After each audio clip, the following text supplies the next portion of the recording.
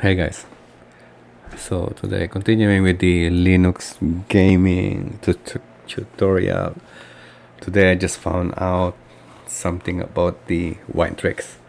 And I've been playing on my Linux for a very long time but just today accidentally I just I just found out.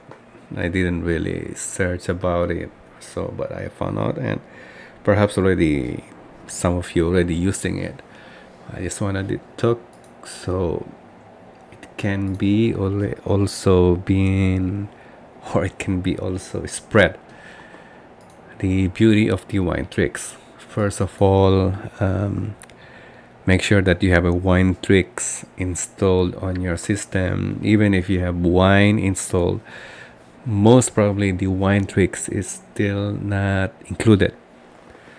So if uh, if you are in a Ubuntu base um, you can just uh, type in sudo um, apt install wine tricks.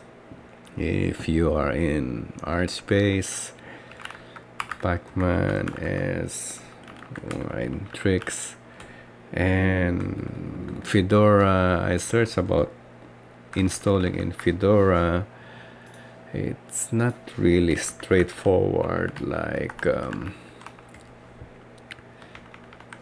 see how to install wine wine tricks this one talking about wine tricks. And there's something here about wine Winetricks so you have to go into a you need to download and basically compile it. Uh, no you just need to move it. Okay. So make sure you have it installed because if you don't have that one then you cannot use the this one I'm gonna discuss now. Wine tricks. And of course for me as say I'm using a Gentoo at the moment for me sudo emerge av Winetricks is really there so as sometimes there's a game why why you need a wine tricks because sometimes when you install a game you will get this message like I did the other day or yesterday today about the Microsoft Visual C++ it's not installed on the system and I I searched no I searched about it and and then I was just clicking and once you have this um, Lutris uh, app is already launched so you can click.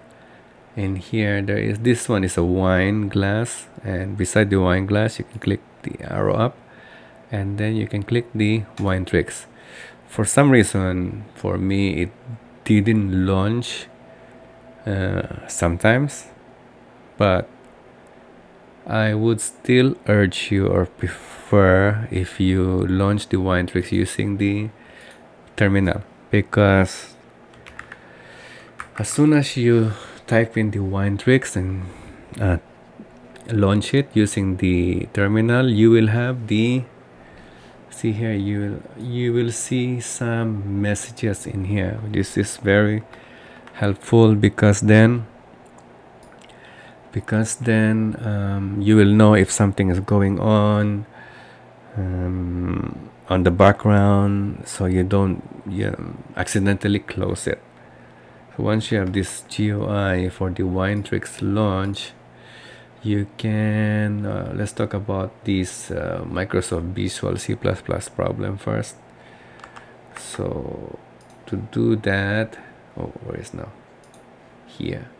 So you go in here and select the default wine prefix and then install a window let me just minimize this install a windows dll or component.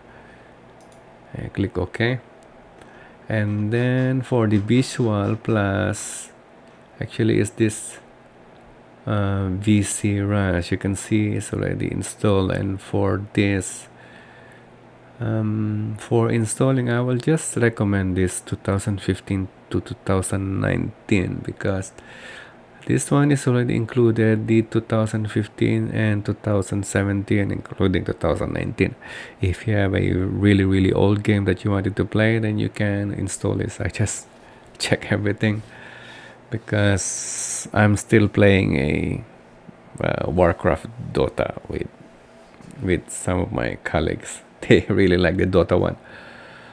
For this I'm just gonna demonstrate that I have this VC run 2008 so click OK.